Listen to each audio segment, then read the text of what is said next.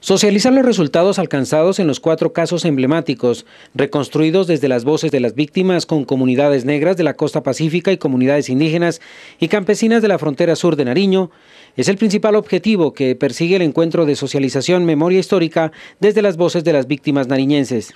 Aquí se recogen los desgarradores testimonios de víctimas de violencia en los municipios de Olaya Herrera, Iscuandé, Ipiales y Ricaurte. Han hecho sus relatos, han hecho su proceso, de eh, saneamiento eh, en torno al dolor, en torno a seguir recordando a sus seres queridos eh, asesinados y desaparecidos en diferentes casos del departamento. Y mm, para seguir recordando y para que la memoria histórica de estos procesos nos permita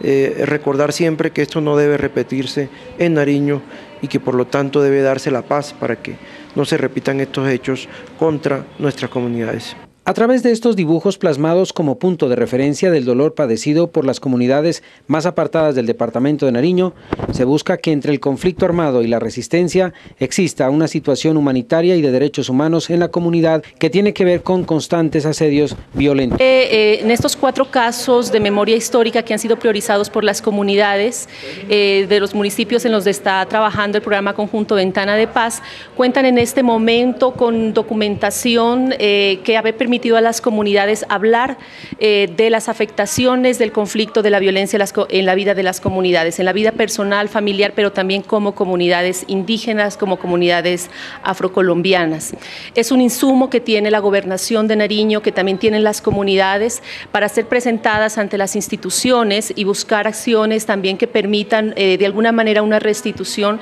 pero que desde ya se ha consolidado en una posibilidad de apoyar el tejido social de las comunidades. Este evento permitió además la presentación del documental El dolor queda, pero la resistencia continúa, que reúne violencias vividas por la comunidad indígena de Boyera, sector Cuaspud, en el resguardo indígena de Cumbal, donde se han presentado acciones que violan los derechos humanos.